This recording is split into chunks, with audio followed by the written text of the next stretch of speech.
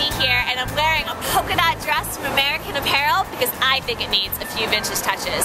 So I'm here today at the Family Jewels Vintage, which carries pieces from 20 years ago all the way back to the early 1900s. And what I'm going to do is take this piece and style it to create five vintage outfits using pieces from the 40s, 50s, 60s, 70s, and 80s.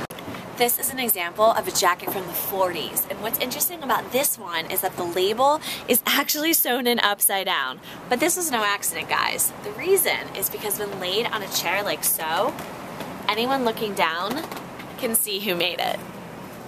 The jacket's wider shoulders and overall boxy shape give it a more masculine cut, which was a style popular for women in the 1940s. So I added this corde bag and a black sun hat to give the feminine touches of a stylish, modern woman. This 50s pleated skirt is inspiring me to show you guys one of my favorite style moves, mixing polka dots. In this case, the polka dots work because they're a similar size, and then when worn together, it looks like it could be one piece. So to go with it, I added this great color block purse from the 60s, and then a 50s cashmere sweater with lace embroidery and crystal buttons. And then I took a neck scarf and tied it into a hair bow for another signature Sammy D move. Sequins is one of my favorite materials, and this 60s evening wear top that's all sequins, definitely a showstopper. So I added even more sequins with this black beret that matches this black patent leather bag. I put this top over my dress to transform it into a mini skirt, which was a revolutionary trend of the 60s because for the first time ever, it was acceptable to wear clothing that showed skin above the knee. This skirt is so 70s because of this bright, colorful floral print. And guys, what this really shows is how the hemline dropped from a 60s mini to a 70s maxi.